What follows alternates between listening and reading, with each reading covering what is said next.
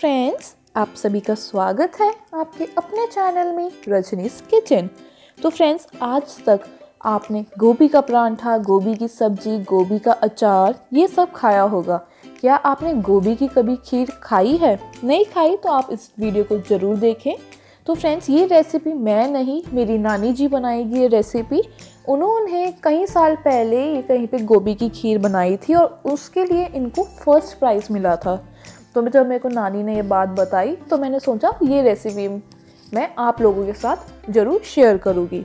तो चलिए शुरू करते हैं अपनी रेसिपी के साथ।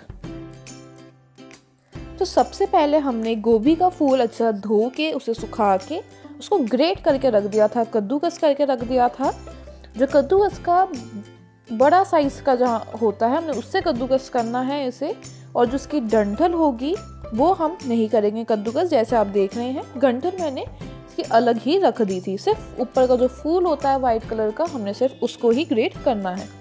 तो सबसे पहले हमने कढ़ाई लेंगे। इसमें हम देसी घी डालेंगे। कुछ तीन से चार बड़े चम्मच।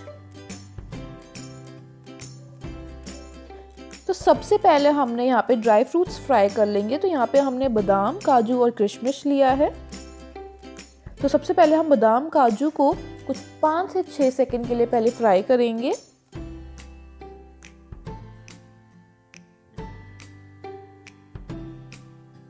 जब पाँच से छः सेकंड हो जाएँगे इसे फ्राई होते हुए, फिर हम इसमें किशमिश डाल देंगे। फिर हम किशमिश के साथ इसे फ्राई करेंगे। तो ये थोड़े से एकदम लाइट ब्राउन हो जाएँगे मतलब गोल्डन कलर के, तब हम इसे निकाल के एक प्लेट में रख लेंगे। जैसे आप अच्छी तरह निकाल के रख लें, फिर हमने उसी कढ़ाई में जो गोभी कद्दूकस करके रखी थी, उसको डालेंगे। इसको हमने कुछ चार से पाँच मिनट के लिए भूनना है।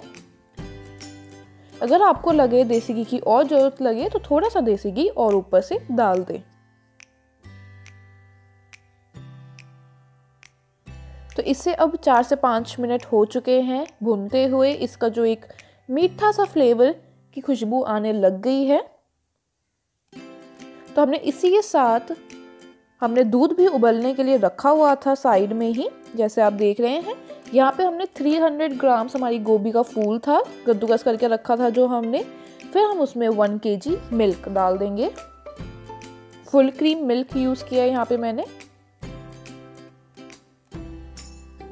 तो अब हम इसे कढ़ने देंगे कुछ 10 से 15 मिनट के लिए जिसको आप जैसे उबाला आता जाए, आप उसे करछी की हेल्प से उसे मिक्स करते रहें।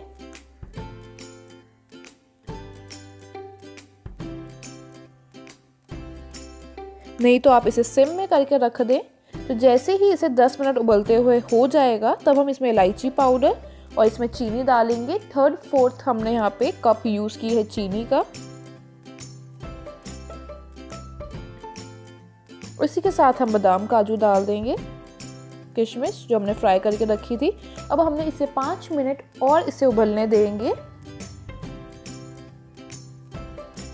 इसकी कंसिस्टेंसी वैसे अभी ठीक है बट हम इसे थोड़ा सा और थिक करेंगे कंसिस्टेंसी तो जैसे ही आप पाँच मिनट बाद देखेंगे, खीर आपकी एकदम थिक हो जाएगी।